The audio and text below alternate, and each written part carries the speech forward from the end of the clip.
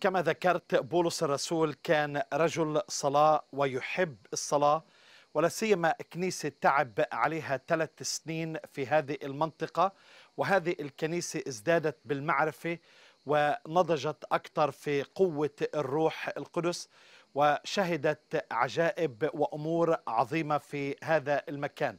لكن هذه الصلاة بتتكلم عن عن عن مجد وعن محافظة في نفس الوقت حتى يستثمر في أولاده وبناته المؤمنين. فبيبتدي هذه الصلاة أولا يصلي لأجل روح الحكمة. وهذا مهم جدا. الحكمة كانت منتشرة في كل مكان من أثينا إلى أفسس. وكلمة حكمة هي صوفية. بالواقع إذا أردنا أن نعرف عن الحكمة في تماثيل في المكتبة خلفي واحدة من هذه التماثيل للإلهة أثينا إلهة الحكمة. لكن بولس الرسول بيتكلم مش مش عن حكمة من هذا الدهر بيتكلم عن حكمة الروح.